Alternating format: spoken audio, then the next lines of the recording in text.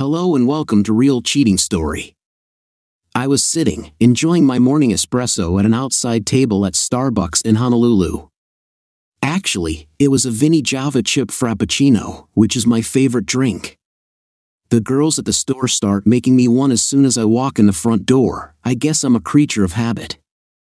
I do get a few dirty looks from people waiting in line when one of the girls walks down the line and hands me my drink with a pleasant, Good morning, Mr. Mitchell. Of course, the tip may help. It was a typical Hawaiian day, not a cloud in the sky, the temperature in the mid 70s, and a mild breeze coming out of the west from the ocean. Actually, that's a dumb statement. Hawaii is an island in the middle of the Pacific Ocean. No matter what direction the wind is coming from, it's always off the ocean. I sat outside of my small table under a palm tree. The palm provided just enough shade so I was safe from a nasty sunburn. My driver, Keanu, and I enjoyed the peace and tranquility. I was trying to read the Wall Street Journal while he was checking his eyelids for light leaks. But today, my mind kept wandering back over the last five years. Yep, it's been five years since my wife divorced me and took off with her lover. I was living in western New York State at the time, working as a computer nerd for a large manufacturing company. I wasn't the greatest tech employee there, in reality, I was a little lower than average. I didn't even try hard, I guess I wasn't the most ambitious rep they employed. To be exact, if I finished one job, I would just wait until the next job was assigned to me instead of looking for more work. I tended to hide a lot. As normal, I was surfing the web after finishing my last assigned task when my supervisor walked into my cubicle. He said the department manager wanted to see me. This was an unusual request, and I felt just a little apprehensive. We walked to the elevators together to visit him. When my supervisor and I reached the big boss's office, Margaret, his secretary, asked us to take a seat. I believe she said, Mr. Martin is on the phone and will see you shortly. Shortly turned out to be almost 30 minutes, the longest 30 minutes of my life. When we were finally escorted into his office, we weren't even offered a chair. Jim, that's me, he started. You have been an employee of this company for, he stopped to look at some paperwork on his desk. 15 years. I regret to inform you that your services are no longer required here you will receive one year's severance, all your accrued vacation, and personal time in your next paycheck. Well, that was it. I was fired. What the hell was I going to do now? I was too old to start all over again. What the hell was I going to tell Sheila, my wife? I thought as I packed my belongings in a box. I'm not really sure what the next couple of hours contained, but I found myself sitting in a bar, having a double, actually, my third or fourth double, when the bartender suggested that I had had enough and it was time to go home. I drove carefully home, no use getting a DWI arrest, I thought. I pulled into my garage and promptly drove partially through the rear wall. I guess my wife had some work done today that involved shortening the garage. Well, the noise should have brought her out to the garage, but it didn't. When I finally got to my feet and tried the door to the house, I found it unlocked. I opened the door to a completely empty kitchen. The table and chairs were gone, but even worse, all the kitchen appliances were also missing. The first thought entering my foggy mind was, We've been robbed. I staggered into the living room, and everything was gone. The room was as bare as it was when we first bought the house. My head was still a little slow, and I never noticed the pile of my stuff in the middle of the living room floor. I carefully climbed the stairs to the bedroom area and found everything missing. Well, not everything, all my clothes and stuff were thrown in a pile on the bedroom floor. The pile stunk. After a while, I realized that the smell was urine. As I got closer to the pile, the smell got stronger and stronger. In my drunken state, I vomited to culminate my day. I hit my clothes, went downstairs, and curled up on the carpet. I won't claim that I fell asleep, I think I just passed out. When I awoke the next morning, I had the world's biggest hangover. My head throbbed, my mouth tasted as if an army had marched through it, and my body was stiffer than a board from sleeping on the floor. I stumbled out to the garage and noticed my wife's car was gone. I staggered back to the kitchen, planning on fixing some coffee if there was any left. There wasn't, she took that too.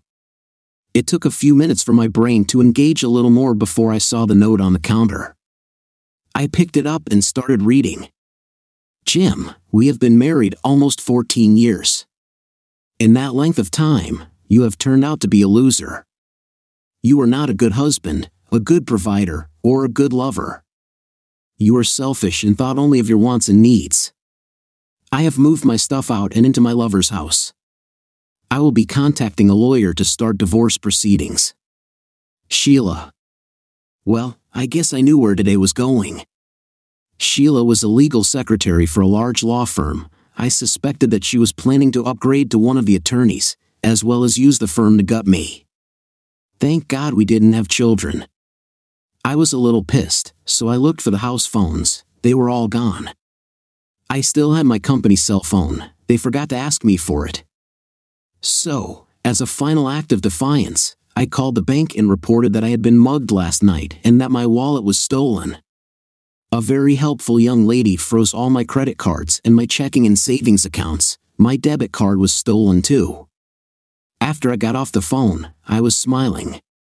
Boy, was Sheila going to be pissed when none of our joint cards worked. I packed my things into my car and took all the luggage. I couldn't even find any garbage bags, she took everything. One of the reasons my favorite watering hole was my favorite was that it was owned and operated by my best friend since childhood, the one person I trusted with my life. So I went to his bar for advice. Bartenders always give the best advice. Besides, he had an ex-wife and might know a good divorce attorney. There was also the problem of hiding my final check. I didn't want Sheila to get it.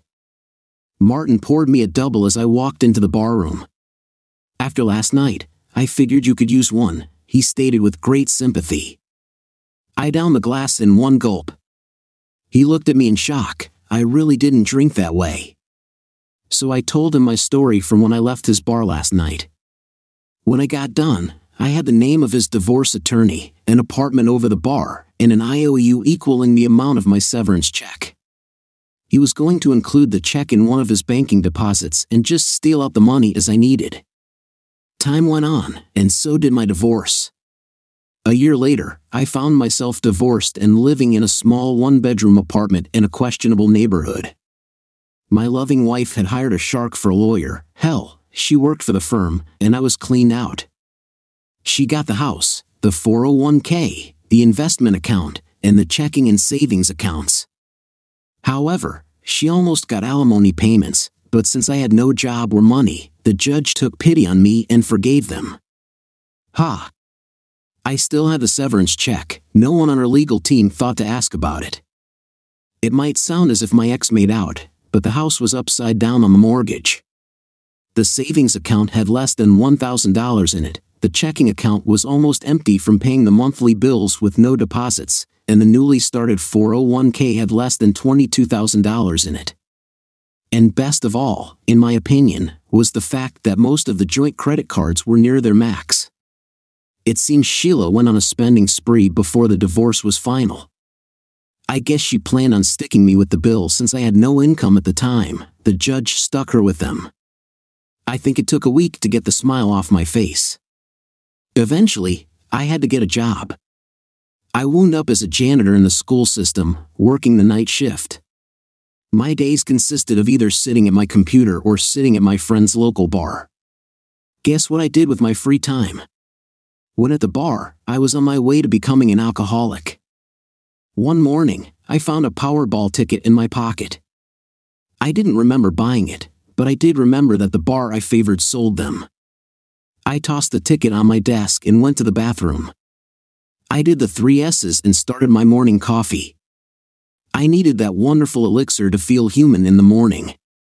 Well, actually, it was 1 p.m., but that was morning to me. When I got out of the shower, I waited for my PC to boot up. I noticed the Powerball ticket beckoning me, so once the PC started, I fired up Firefox and went to the Powerball site.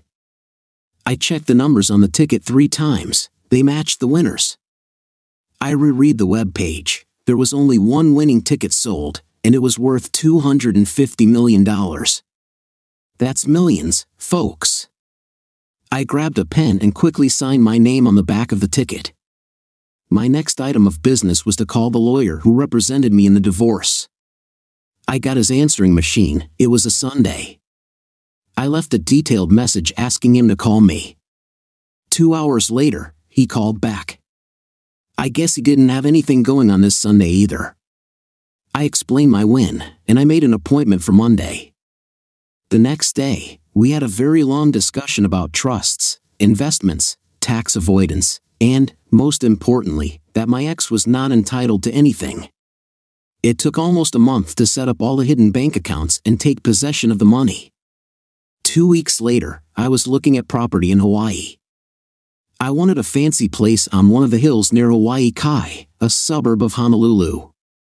It took almost a year before I had the new place set up to my liking, but now I was finished and enjoying the good life.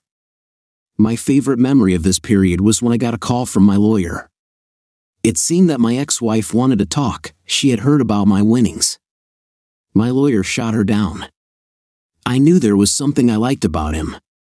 So there I was, sipping my frappe and enjoying my thoughts when I felt something. Did you ever have one of those funny feelings that you were being watched?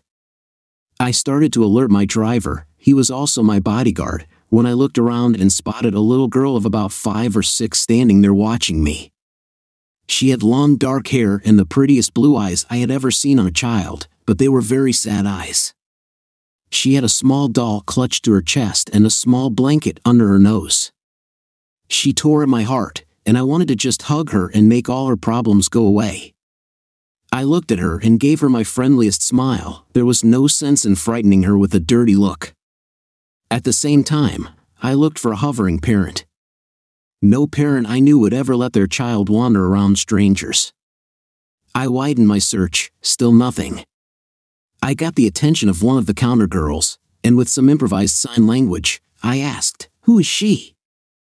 I watched as she asked the other counter girls, and all I received in return for my efforts was a shrug of her shoulders.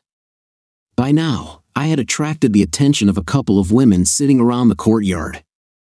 As I surveyed them, they all shook their heads, no.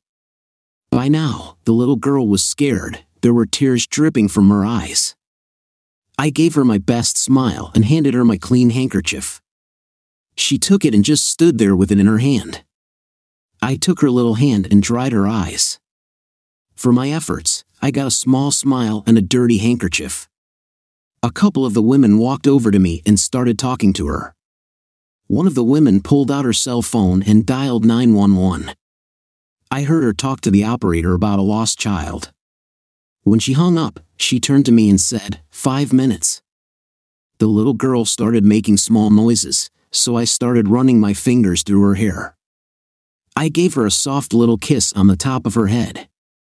She looked at me and said, Grazie, Papa. It had been 20 years, but I recognized the phrase. It was Italian for thank you, grandfather. You see, in the late 1980s, I was stationed in Italy courtesy of the US Army. I picked up quite a bit of Italian while I was there. If a guy wanted to get close and personal with one of the bar girls, speaking the language was necessary. This little girl was speaking Italian. Bella, ciao. E.I.O. Jim. Hi, beautiful. My name is Jim, I said. I saw her eyes light up, and a great big smile crossed her face. She hugged me tighter. Bella, what is your name, beautiful? I asked next. Bella, she answered. Well, I tried a couple more times but got nothing different, so I decided to try another direction. Aqua, I asked. I got a little smile, so I took her hand, and into the Starbucks we went. While we were looking at the cold drink cooler, one of the baristas whipped up a small caramel frappuccino and gave it to Bella. One sip, and Bella was hooked. She gave the girl a big smile and said, Grazie. A polite child, we walked back out to my table, and Bella sat next to me and slowly drank her treat. I spotted the Honolulu police cruiser pull up at the curb and waved at the officers. They walked over to me and asked what was going on. I explained that Bella appeared to be either lost or abandoned. One of the officers started talking to Bella. He was nice and polite, but he was speaking English. I could see the frustration building in his face when his partner noticed the smile on my face. Okay, do you know why she won't talk to us? he asked. I nodded my head. It appears that she only speaks Italian. My Italian is about 20 years old, so I can't get a lot out of her. Do you guys have anyone who speaks the language that you can call? Bathroom? she asked. I motioned to one of the women sitting around the patio, pointed at Bella, and said, Bathroom. One of them came to my rescue, but Bella wouldn't go with the woman, so the three of us made the trip. I stayed out in the hall. Bella called me a couple of times just to make sure I was still there. When we got back to the table, I was informed that the police could not find anyone to speak Italian, so they called Child Protective Services, and a caseworker was coming. Two hours later, the two cops, Bella, and I went to McDonald's for lunch.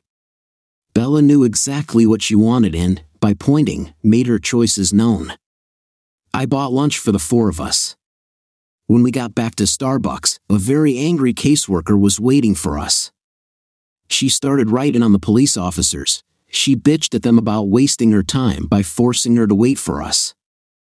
Well, they weren't about to take any from her, so a shouting match started. Bella was getting scared, so I walked her away from all the noise. The caseworker saw me and started yelling that I was kidnapping the child and that I should be stopped. I pulled out my cell phone and started making calls. I had been a large contributor to the current governor's campaign fund. My thought process was that if I had given all that money, I might as well start getting a little benefit from it. I got one of the governor's underlings on the phone, explained who I was and what my problem was, and the reply was, I'll take care of it. It took about five minutes when the caseworker's cell phone rang. She answered it very rudely and started yelling at whoever interrupted her when suddenly she got very quiet. All I heard was a lot of yes from her end of the conversation. While she was listening, an unmarked police car pulled up. I recognized the man getting out of the car, it was the chief of police. He walked up to his officers, and they went into conference. He then walked up to the caseworker and said, Hang up the phone, get in your car, leave, and that's an order. If you fail to obey, I'll have you arrested. The caseworker left, and the chief walked over to my table with his two officers and introduced himself. Did either of my officers act in any way discourteous during their interactions with you? he asked. No, sir. They were very polite and helpful. They are working to find a translator so that we can help the girl, I said. The two uniformed patrolmen smiled at me. The chief sat down at my table, and we started discussing little Bella. The two officers returned to patrol duty, and the chief and I tried to decide what to do with my newfound friend.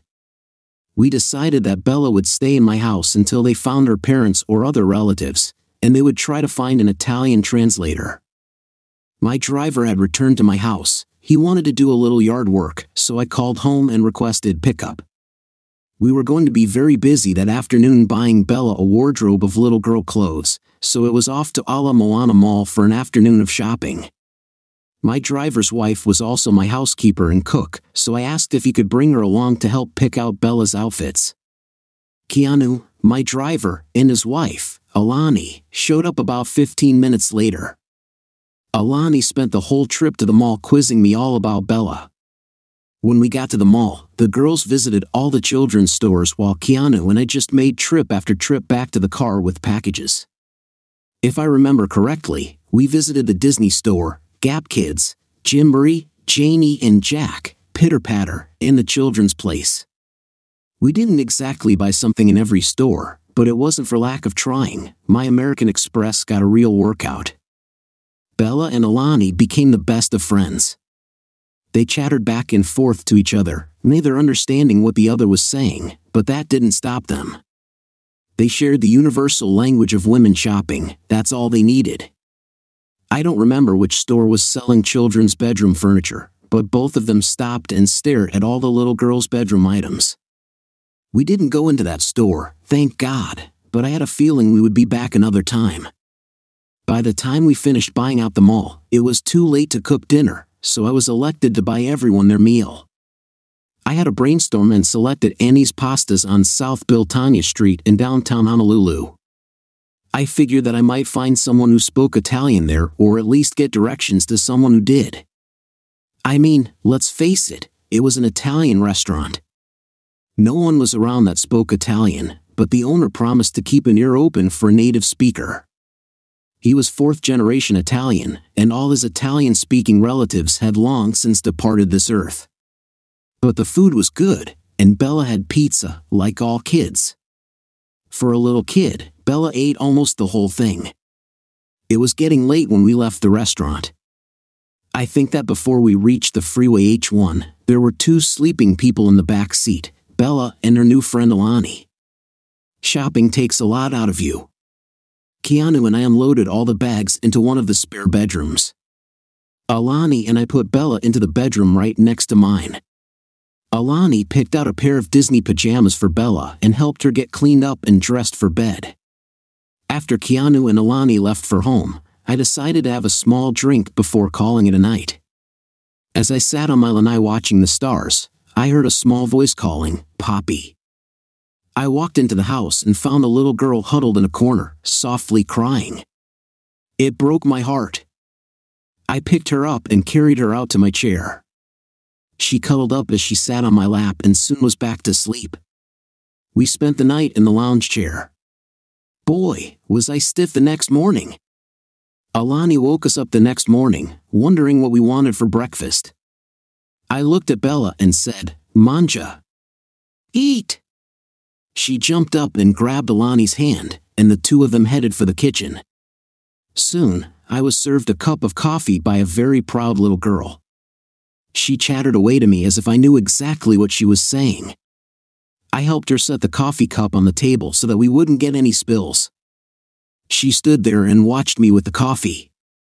It took a few seconds before all the gray cells in my head realized that she was waiting for me to sip my coffee. I did, and with great exuberance, said Pareto. I was rewarded with an ear to ear grin. I noticed that Alani was standing in the doorway, watching. She smiled at me and said, Way to go, boss. Now go take a shower and get cleaned up while Bella and I prepare breakfast. One thing I learned at my mother's knee obey all commands given by a female, or you'll regret it. So I headed for my bathroom. As I was finishing dressing, a little voice said, Poppy, prima cena, breakfast. When I opened my bedroom door, there she was, waiting for me. She took my hand and escorted me to the kitchen. There, I found the table set with my finest china.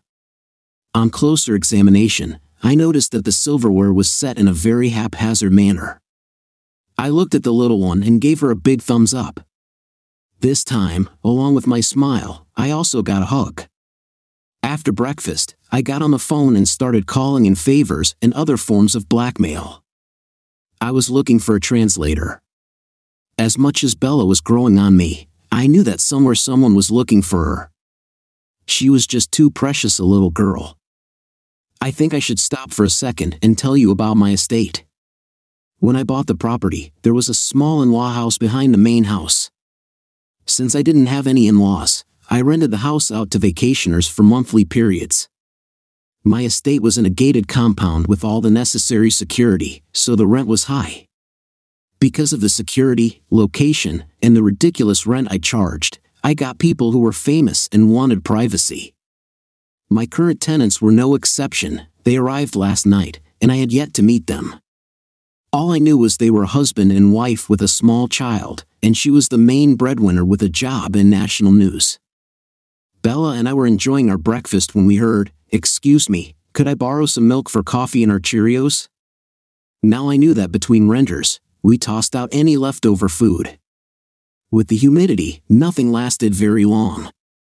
I smiled at him and said, No, but you guys must join us for breakfast. I know there is nothing to eat over there. Please join us, we have plenty of food and would love the company. After a few false starts, he agreed. He went back to the guest house for his wife and child.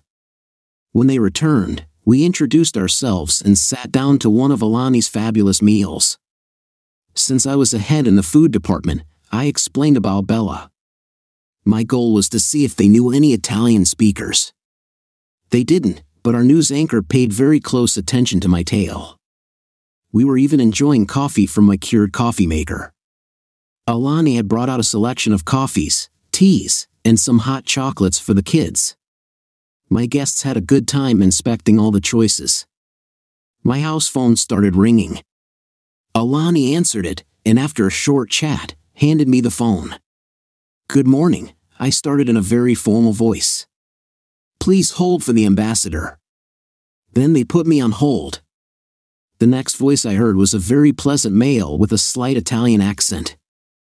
Mr. Douglas, I'm the ambassador to the United States from my government. I understand that you have found a child of one of our citizens. Yes, sir, and I need some help with her. I went on to explain Bella's discovery and everything we had done so far to help her.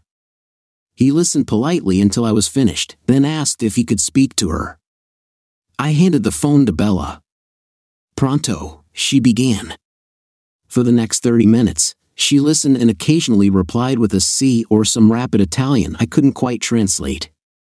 Finally, she handed me back the phone. The ambassador highlighted their talk. It seemed that Bella only knew of her life with her kidnappers. She did not know her mother or father, her real name, her age, or her birth date. She was kept chained in small rooms as she grew from an infant. Her food was put in metal bowls on the floor of whatever room she was kept in. She was never allowed out of her room and was not allowed anything to wear but the shift I found her in. She was only ever called Girl. That was the only name she ever knew. The ambassador indicated he was sending a representative of his government to delve into her history. He also indicated that his people had checked me out, and it was decided that Bella would remain with me until her fate was determined. The ambassador's representative would be flying out in three days and would be staying with Bella at my home, if that was agreeable. He said it was very agreeable to both Bella and me. I spent the next hour answering questions from everyone at the breakfast table. When they finally ran down, the chief of police showed up. I went through the morning's events with him. Somehow, it was decided that Bella needed a little girl's bed. Guess who was volunteered to buy one? Keanu brought the car around while Alani dressed Bella. Somehow, my renters were invited along to see the mall. I knew the husband didn't relish spending one of his vacation days shopping, so with very little effort, I talked him into spending the date at the golf course. We all fit into my Bentley with room to spare. I drove the car to the mall while Keanu dropped off the husband at the golf course. Bella recognized the mall, and when I explained that we were going to buy her a bed of her own, she cried tears of joy. She dragged me to the store where she saw the pink bedroom set yesterday. Now, Ala Moana Mall is a big place, but Bella navigated it to that store without a single error. When she grows up, she'll be one heck of a shopper. Bella didn't understand all the ins and outs of shopping, but she was learning fast. All she knew was that she wanted the pink bed and the great big teddy bear to go with it. I handed Alani my gold card, and they left with the sales lady to pick out sheets, pillows, and all the other things Bella needed to establish her own room. Everything we purchased was to be delivered and set up by 5 p.m. that day. Bella would sleep in a real bed tonight, her own bed. We were a happy group, so we stopped at the food court for junk food and ice cream. Bella was overwhelmed. She had never seen anything like the food court. She wanted to try everything, but Alani put the kibosh on that idea. I guess I didn't mention that Alani was a health food addict. Junk food was not in her dictionary. Still, Bella managed to get some junk food. That kid could charm the socks off anyone. It was 3 p.m. when we arrived home and found a large furniture truck waiting for us. Bella's new bedroom had arrived.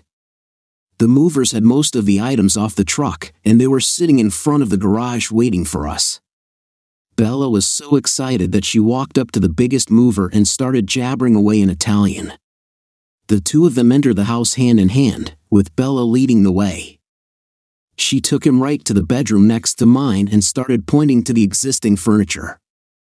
As she pointed to a piece, she would act it out, demonstrating how it fit into the next empty room. The movers loved it. Before long, they were a perfectly coordinated team, the guys carting and Bella directing. It took until 6 p.m., but the guys got everything set up. I walked the two men out to their truck and gave each man $100 as a tip. At first, they refused the money, explaining that Bella was worth their time and I didn't need to tip them, but I prevailed. Bella, Alani, and my renter went to work putting Bella's stuff into the various drawers and storage items. When we purchased her clothing, it looked like a lot, but when it was all put away, the drawers were painfully empty. I knew there would be a lot of trips back to the mall in my near future. I sent Keanu out for food for the golfers, and Bella gave me a tour of her new room. The big teddy bear was in the middle of her bed, and in its arms was her little doll. Bella walked over to the bed and pointed at the big bear, saying, Poi. Then she touched the little doll and said, Bella. I just stood there with tears running down my cheeks. Bella reached into the pocket of her dress and pulled out my handkerchief from yesterday. She pulled me down on my knees and started drying my cheeks. That night, I wore pajamas to bed in case I got a visitor in the middle of the night. I got a little visitor, this time she wasn't scared. She was happy and wanted a cuddle. Toward the end of the week, I received an email from the Italian embassy. It contained the flight number and arrival time of Bella's tutor. Bella, Keanu, and I were standing in the arrival lounge when Miss Gina Castillo walked through the gate. She was stunning, dark hair, olive skin, dark eyes, and about 5 feet 6 inches. I've never been good at guessing a woman's weight, but her body was perfect. She was dressed in a business suit that highlighted her attributes, in my humble opinion. We went through the greeting routine among the adults, and when everyone was introduced, Gina squatted down and introduced herself to Bella in Italian. The two of them must have chatted for at least five minutes. When Gina finally stood back up, Bella was holding her hand. I felt a twinge of jealousy, but Bella pulled Gina over to me and took my hand in her free one. We walked out of the airport with Bella between us, holding our hands. We walked to the baggage claim area, where Gina pointed out two small bags. Not a lot of clothes, I thought. I hoped she was having the rest of her stuff shipped. When we arrived home, Keanu put her luggage in one of the spare rooms. Bella gave Gina the grand tour of the house, ending with Bella's bedroom. It was a busy afternoon. Bella and Gina spent until Bella's bedtime just talking, even through dinner. The two of them disappeared into the rear of the house, and about an hour later, they reappeared. Bella had on pajamas, and Gina wore a long house coat. They both had that fresh scrubbed look. Bella kissed me goodnight and said something to Gina. Gina laughed and said, Bella wants to know if you're still going to tuck her in bed or will you be tucking me in instead? I guess my jaw dropped open. Bella said something to Gina, and Gina started laughing again. Bella wants to know if it's still alright to climb into bed with you if she gets scared, or will I get mad at her? I guess she thinks we'll be sleeping together. I couldn't believe my ears, and for a moment, I was mute. Gina just smiled. Out of the mouths of babes, I thought. I took Bella's hand and walked her into my bedroom. I pointed at my side of the bed and said, Poi, pointing at the other pillow, I said, Bella. I was rewarded with an ear to ear smile from my very happy little girl. Bella looked at the bed and started pointing, Poppy, Bella, indicating which pillow was for each of us. I looked over at Gina, who was just enjoying the whole conversation. Okay, explain your thoughts, I challenged. Gina just looked at Bella and said something in Italian, which I couldn't understand. After I got Bella all tucked in, I went looking for Gina. I found her on the lanai, waiting for me with a glass of wine. I fixed myself a crown royal on the rocks, a strong one. We've got to talk. I learned a lot about Bella today. Damn right we do, I replied, feeling irritated. I was just having fun with you. You really need to loosen up a little. First and most importantly, Bella has never had any education or mother child bonding. She was left to raise herself. Her language skills are about equal to those of a four year old. She has never been taught any personal hygiene and has never been shown any affection in her whole life. Well, her language skills aren't that far off. I figured she's five or six, I replied. Sorry, but as near as I can tell, she's around 10 or 11. Gina then told me about her qualifications. She was a child philologist educated in Rome and Switzerland. She explained that Bella was a blank slate we could mold into a productive member of society if I wanted to help. Gina went on to tell me all about her afternoon with Bella. This is your home, but Bella refers to it as if it's both of yours. You need to be very careful how you refer to it around her. I was still stuck on Bella's age. Next, I will start teaching her English, she continued.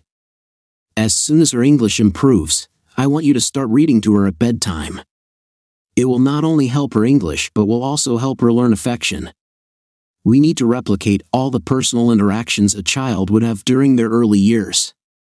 I can do that, I said proudly. The next thing we need to do is demonstrate affection between adults. By that, I mean simple things like handholding, simple kissing, hugging, and affectionate touching. Sounds like you have a lot of work laid out for us. How long will you be staying, and will your husband or boyfriend object? I asked. I have no one in my life at present, and as for how long, we'll play that by ear. Get a good night's sleep.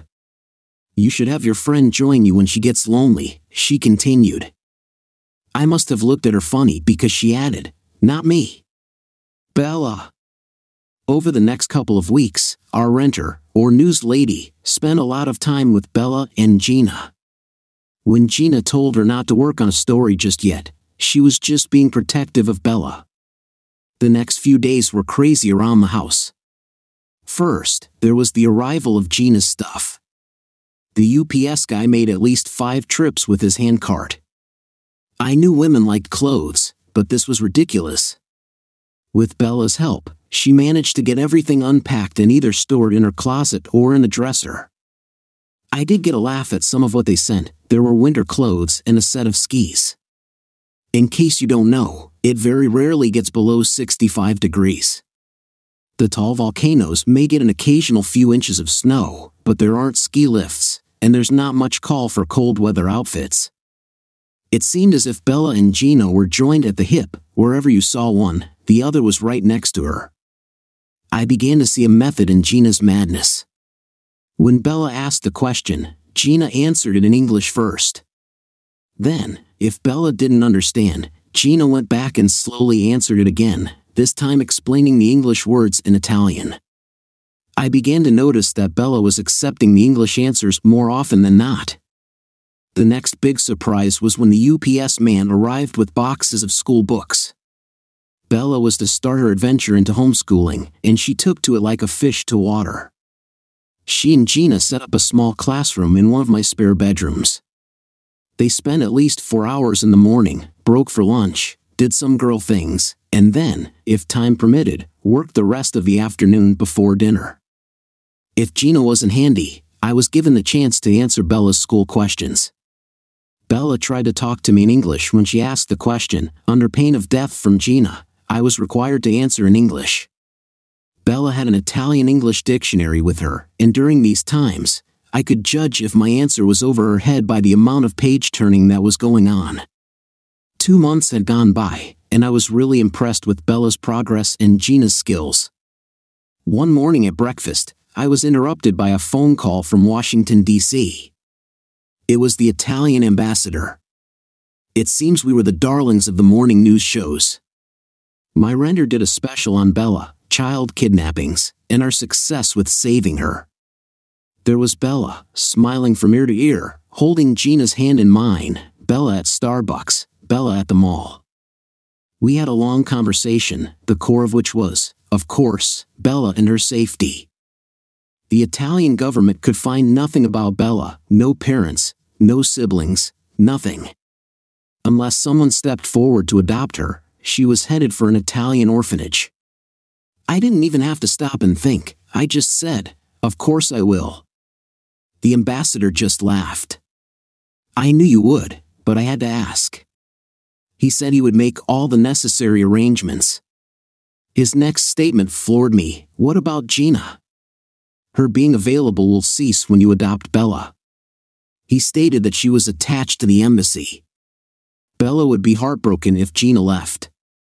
Can we get her a work visa? Then I could pay her as a tutor. I like having Gina around, eye candy and all that. Besides, I like our chats. Talk to her and let me know, was all he said. That night, Gina and I had what was to be the first of many talks. I told her about my decision to adopt Bella to prevent her from ending up in an orphanage. Well, I had always heard that Italian women had terrible tempers. Gina proved that to be a fact. She read me the riot act. I guess I struck a nerve. She yelled that while my intentions were good, I was a stupid pig. Actually, she used a much stronger adjective describing what I sat on, and she wasn't referring to a chair. When she finally calmed down, we discussed the adoption into the wee hours. We left it at that it was Bella's decision. I knew I would be heartbroken if Bella didn't choose me. Gina was quiet around me for the next month, and I walked on eggshells. One morning, when Keanu and I were returning from coffee, we were met at the door by Gina and Bella. Bella ran up to me and hugged me with all her might. Gina threw her arms around my neck and gave me a kiss. I guess I did something right, but I'll be damned if I knew what. When Gina finally gave me my lips back, she said, You are a wonderful man. The ambassador called today. The papers are being FedEx to us. What papers? I never claimed to be the sharpest pencil in the box. Don't you try to fool me. I know you planned everything, adopting Bella and sponsoring my visa so I could stay here with you, too. That night, there were two sweet females in my bed. Bella was in her usual spot, and Gina was spooned against my back. Damn, I got a really good sleep. The next morning, I woke to poking. Gina was gently prodding me. It was a nice way to wake up, too bad Bella was wrapped around my back. I could have stayed that way all day. As I wiggled my way out of bed, I heard not one but two females complaining. I went to the bathroom, got undressed, shaved, and hopped in the shower. About halfway through, I felt a draft. Gina had drawn back the curtain and was inspecting me. Not bad, was all she said before leaving. I started to protest her departure, but then I heard Bella's voice. I decided that I'd start researching summer camps for Bella, that way, I could get some alone time with Gina. It was a nice idea, but I found that there weren't any overnight summer camps around. The next couple of years just flew by. Bella accepted Gina and me as her parents. I really don't know when or how it happened, but one day I noticed that we were mommy and daddy when she referred to us. Gina and I grew closer. While I was still shy as far as marriage was concerned, that didn't stop me from allowing her to move into my bedroom. Bella even stopped visiting us in the middle of the night. Gina and I started taking afternoon naps when Bella was in school, just in case we got a little visitor in the middle of the night. As part of Bella's development, she started going to school with her peers. She did great, she blended in with her age group, and we had kids visiting the house almost every day. Our house became the neighborhood hangout. Every weekend, Bella had a couple of her friends sleep over. Alani loved the kids, her grandchildren lived in California, and these were her substitute grandchildren. One day, I asked her if taking care of all the children was too much for her. I know Italian women have a temper, but I never realized that Hawaiian women did, too. And to make matters worse, Hawaiian women were really good with knives. One of these days, I'm going to learn to keep my mouth shut. One Sunday, Bella sat on my lap to chat. Poppy, when are you going to ask Mommy to marry you? You know she loves you very much, and you love her too. Besides, I want a baby sister or brother before you're too old. A lot of thoughts crossed my mind in a few seconds. The one that ended up in the forefront was, why not? So I asked Bella, if you can keep a secret, you and I will go looking at rings after school tomorrow.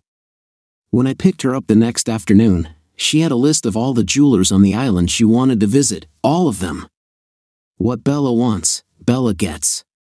She and I spent the next couple of weeks shopping. It was the usual conundrum. We ended up back at the first shop we had looked at. The ring we chose was a simple diamond surrounded by small cut birthstones. They were Bella's, mine, and hers. The jeweler said he could add more birthstones if we had more children. It was simple but elegant. Bella approved, and I paid. The next thing Bella did was plan how I was to propose. She told me, You are the best dad, but you don't understand women. I'll plan the proposal. And plan she did. She and Alani worked out all the details for a special dinner, choosing the date that Bella found me at Starbucks. That sounded good to Gina, a special dinner on the day that our little Bella joined me. Alani did her usual excellent job of preparing and serving the meal. We were having a very relaxed dinner when Alani served dessert. On Gina's plate was only the ring box. She just sat there with tears running down her face, still not opening the box. Bella broke the silence. Well, aren't you going to open it? Gina just sat there, shaking her head and crying. She made no move to open the box. Bella just looked at me and said, Well, ask her. So I did. Gina, will you make me the happiest man in the world and marry me? I know it wasn't an elegant speech, but I'm not that good a speaker. At that point, Bella put her two cents in say yes so you can start making me a brother or sister. Gina picked the box up and held it in very shaky hands, saying, Yes, yes, yes. The women went crazy for the next three months. They decided on the location for the wedding, the park at Y, and they even got a Catholic priest to officiate the outdoor ceremony. The reception was to be at my country club, where there would be about 200 guests. The bridesmaid was to be Bella, and the best man was to be Keanu. The rest of the wedding party was to be our friends. Some of Gina's friends worked for the Italian embassy in Washington, and they were invited, all expenses paid.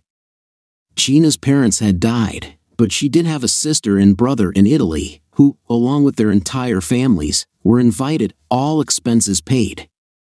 There were even a few distant cousins. The 200 attendees grew to a little over 400, all expenses paid. I ended up renting a couple of floors at one of the beach hotels. I don't even want to talk about the cost. You guys know the routine. I wasn't allowed to do anything concerning the wedding dress except pay for it. Both Bella and Gina accompanied me to pick out the tuxedos. I was under the impression that all I had to do was basically pick one. What was I wrong? Let me tell you, Gina and Bella spent all afternoon making sure my outfit was perfect. They almost drove the tailor to a nervous breakdown with all their changes. I'm just glad it was a black tuxedo with a white shirt. Just think what would have happened if I had wanted a colored shirt, or heaven forbid, a pattern one. I'd probably still be in the store. All I can say is, when Bella gets married, I'm going on a year long around the world cruise ending the day before the wedding. I'm not going to be around for all that planning, I just couldn't stand the stress. I'm just going to leave the American Express card. Every time Keanu walked by me, he just laughed. I told him I was going to fire him after the wedding, and he just laughed even harder. The big day finally arrived. I wasn't allowed in my own house the few days before, I ended up staying in the hotel with all of Gina's relatives. They turned out to be a really fun bunch. Between my broken Italian and their broken English, and my credit card, we got along famously. There I was, standing in front of the makeshift altar with the priest when this beautiful vision in white started down the aisle, with the bridal party leading the way. She was my soon to be wife, Gina. The rest of the afternoon was a blur. I remember saying I do, I remember the reception, and I remember everyone congratulating me. Most of all, I remember the wedding night. That night, we started on making a baby, but Gina had been on the pill, and it took almost five months before it took. Gina and I were gone three weeks on our honeymoon. She took me to her homeland and showed me the land of her birth. Italy is a beautiful country, and every night was special. I hated to leave and return home to normal, if you can call living in Hawaii normal. I really don't know who was happier between the three of us. All I know is that Bella helped pick out everything for the baby's room, helped send out shower invitations, and accompanied Gina on all her visits to the OB. Gina did draw the line at the labor room, only I was allowed in there. It was a beautiful May afternoon when Giorgio Douglas entered the world at 8.3 pounds, a very healthy baby boy. When Bella was allowed in the room, the first thing she did was visit her new brother. Hi, Giorgio. I'm your big sister. Welcome to our home. The nurse picked the baby up and let Bella hold him for just a moment before giving him to his mom to start feeding. Bella watched everything Gina did with the baby. Bella had discovered the miracle of life and started to realize her place in it. The wait in the hospital worked out to be two days before Gina and her son could leave. I think they were the longest two days in Bella's life. Bella had arranged to take the day off from school and was up and dressed at dawn. She supervised Keanu as he installed the baby seat, arranged the placement of the diaper bag, and, of course, picked out all the baby toys. She lectured Keanu on keeping to the speed limit, avoiding potholes, and general safe driving procedures. She informed him, You are driving my brother home. I knew I had to give him a bonus at Christmas for his patience. Bella had plans to show her brother all the sights on their way home. Unfortunately, he slept the entire time. Anyone who has raised children knows that for the first few months, a child just eats, sleeps, and goes through diapers. Bella spent all her free time watching her brother and asking Gina all sorts of questions. If I wanted to visit with Bella, I had to pick her brother up and leave the room, followed as if on a leash. I still remember when Giorgio was about three or four months old and recognized his sister, giving her a big toothless grin. Bella was hooked from that point on, she was his perfect big sister. When Bella's friends came over, they were subjected to tales of Giorgio's accomplishments, but being girls, they loved it. It was cute to see all the girls watching whenever he needed a diaper change, and it was even funnier when one or two of the girls got showered during the changing. They all complained, but it took another year before anything of note happened. Gina and Bella had their annual physicals, and when they returned, Bella was a very quiet little girl. She and Gina disappeared into Bella's bedroom with a pamphlet the doctor had given her. I guess Gina was going to tell Bella the facts of life. Dads were not invited to these discussions. They spent the time until dinner in Bella's bedroom, but when they sat down to dinner, Bella was acting like her old self. Gina held my hand through the meal but gave me that we'll talk later look. We did talk later. Gina explained everything she, Bella, and the OBGYN discussed. The outcome of our talk was that I was to keep my mouth shut and not embarrass Bella. I guess there are things fathers can't know concerning their daughters. About a week later, the doctor's office called. We were to bring Bella in for some additional tests. No big deal, just to check on some things. The nurse gave us a series of appointments at the hospital and the lab. The end result of all the tests was that Bella had leukemia. We had a family visit with an oncologist. The man was full of hope and good news. He used phrases like we caught it early, a bone marrow transplant, and a little chemotherapy is all that's required, and most importantly, she'll live a long and productive life. I was worried about finding a bone marrow donor because of our non blood relationship, but we got lucky. Bella had a very common bone marrow type, and a match was no problem. Many of Bella's friends volunteered to be tested as donors. While none of them were used, it made Bella very proud of her friends. When it came time for the transplant, Gina and I practically lived at the hospital. Bella received cards and letters from all her classmates. The bone marrow transplant was a success, but the oncologist wanted to continue chemotherapy just in case. Bella was a sick little girl, her hair fell out. Gina and I shaved our heads too. The three of us made quite a sight. Bella picked out headscarves for Gina and me, and the girls' scarves looked good on them. Mine had a weird pattern and color, my girls would look at me and snicker. I knew I'd been set up, but if it helped Bella, I didn't care. One day, I received a phone call from the school. They wanted me to bring Bella in for a homecoming rally. When the date of the rally arrived, Gina and I escorted Bella into the school's gym. Imagine my surprise when we walked in and found ourselves facing about 200 bald teenagers. Her class had decided to show their support by shaving their heads. Bella was weak but held onto my arm and smiled from ear to ear. The kids chanted her name over and over again. Bella and Gina cried. Well, let's just say I must have gotten something in my eyes because they watered freely. About a year after that first meeting with the oncologist, we received the good news. The doctor said the chemotherapy had worked and Bella was cancer free. She could start high school in the fall as a freshman. We were a very happy family that night. I overheard Bella telling her three year old brother that she'd be around to help him grow up. I cried my eyes out later. I never realized that Bella had been contemplating death while dealing with her cancer. Bella and her brother were inseparable. If you found one, you usually found the other. It got so bad that Gina and I enrolled him in preschool. This allowed Giorgio to tell his sister all about his day at school. Gina and I watched in amazement as the two siblings developed a special bond. The years flew by, and Gina and I grew closer. I guess Bella's sickness was the catalyst. We behaved like an old married couple, by that, I mean our lovemaking dropped off to once or twice a week.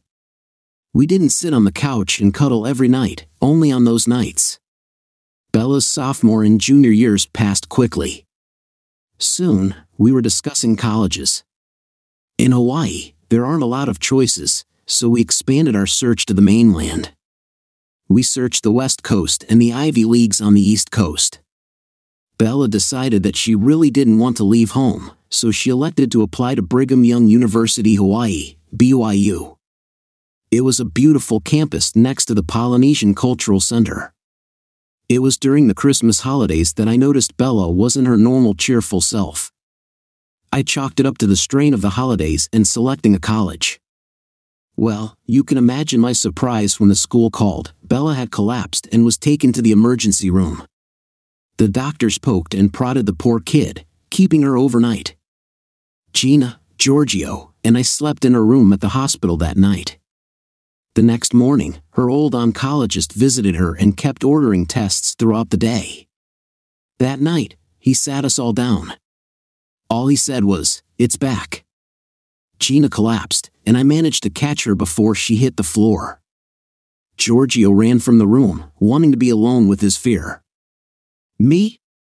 I just walked over to Bella's bed and started talking to her. We'll beat it again. They will have new medicines. You'll be ready to graduate this spring. Before I knew it, the doctor took my arm and shook his head, saying no. She has about four months. There's nothing we can do. It's just too far advanced. Gina collapsed again. I felt Bella's arms go around me from behind as she said, Just hold me, Poppy. My daughter and I had a good cry. Bella didn't make the doctor's promised four months. She left us one night, about three months later, with Gina and me holding her, while Giorgio held Bella's great big teddy bear at the foot of her bed, tears rolling down his cheeks. The funeral was a solemn affair. Most of her senior class showed up at the gravesite, carrying simple leis of white flowers. Most of them ended up decorating her coffin. I'll admit it, I blubbered like a fool. My little girl was gone. That night, I had my first dream. It was of a little girl with beautiful eyes watching me at Starbucks. I couldn't get those eyes to go away. I got out of bed and opened a bottle from my bar. I sat on the couch and finished the bottle. It helped me sleep that night.